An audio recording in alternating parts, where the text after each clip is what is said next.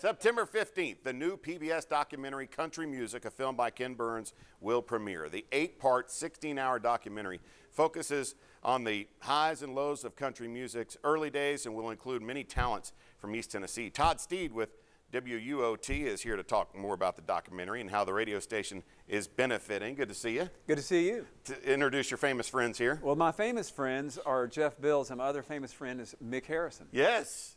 Good to see you guys. I thought you were actually going to introduce me. Um, I, I, love how you sit over in the corner and just act like, you know, hey, I'm just here for the Doritos meatballs. Yeah, they're awesome, by the way. Um, There's yes. meatballs?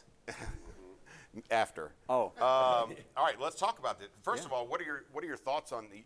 Probably haven't seen the whole thing yet, but the fact that Ken Burns did a documentary on on kind of the genre or a part of a genre you all play.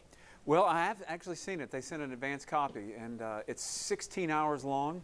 So I had to have meatballs and things to help me get Yeah. through the whole thing. Did you like it? I absolutely loved it, and I loved the Vietnam one. And but this is my favorite of his music uh, entertainment documentaries.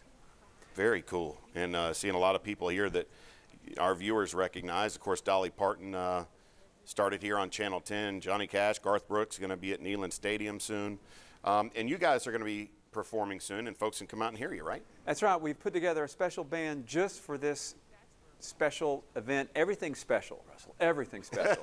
the meatballs are special. And it's going to be tomorrow at Barley's, a very special place at noon.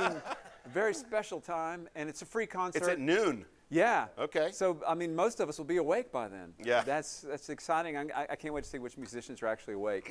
and, uh, but it's R.B. Morris, Trisha Gene Brady, Mick Harrison, and a lot of others. And Jeff Bills, unless he gets fired between now and yeah, then, will be that's there. right. And you have a podcast out. Yeah, it's at WUOT.org, and we have the songs that we've commissioned for this project. And we also focus a lot on East Tennessee's country music. And I love, as much as I love the Ken Burns doc, I could use just a little more East Tennessee. I grew up on the Heartland series, and I have a lot of, Mm. You could have used more cowbell if you want to be real honest. well, I've got some, you know, yeah, for a special but price. but it is cool what you're doing alongside with the, with the podcast. We've been doing stories on it and, and that kind of thing, so it really is neat. Okay, what song are you going to play for us? this is a song written by the very famous Mick Harrison. It's called Raised in Knoxville. Mick Harrison. Is he around? Never heard of him. Never heard of him. I ain't neither. You look like him though. All right, take it away, fellas.